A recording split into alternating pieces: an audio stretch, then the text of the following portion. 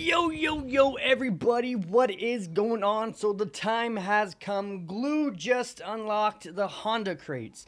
So, let's go down. Let's see what vehicles are going to be in those crates. Because, guys, I know all of you are excited to spend more money on this ridiculously lagging game that just totally destroyed the whole racing rival community. Anyways, with that being said, let's check it out. So, we have right here one of a kind the Acura 2016 NSX GT 3LE. It's like that's a mouthful of just wow. And then we have a wow Honda race. What Honda Civic race car? What the shit? The 2015 Acura. Okay, all right, all right. That's not bad. Honda exclusive car. It's a 2016 Acura NSX. There it is, guys. I have one blueprint. So I spent, I spent, uh, 240. I spent 240 gems. I opened up two crates, and I just got two blueprints. I did get one of these blueprints for the Acura, and I got one of these for the Honda Special car. So, uh, I don't have a lot of gems, guys. I wish I could actually just put a bunch of money on this game to open up tons of crates, but unfortunately, I don't have money.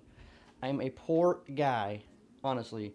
Anyways, so those are the cars that are offered to you guys in the Honda crates. Also, we have some new wheels, the lightweights. We have some rare yellow paint, purple paint, matte black, gold flake. Now, gold flake, that looks pretty good, actually.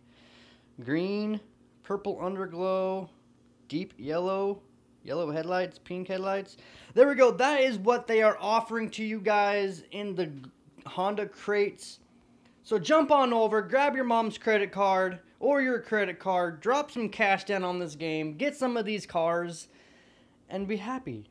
Because that's what Glu wants you to do. They want you to spend money on their ridiculous upgrade update that they decided to do and ruin the community for everyone. And then they want to release a car hoping you guys would spend money on the game.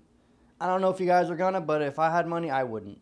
I'm just saying unless I had a lot of money and I didn't care about you know money so much. Then of course, you know, I'll drop a couple hundred bucks down and get some of these cars. But there we go. The Honda Crate is released.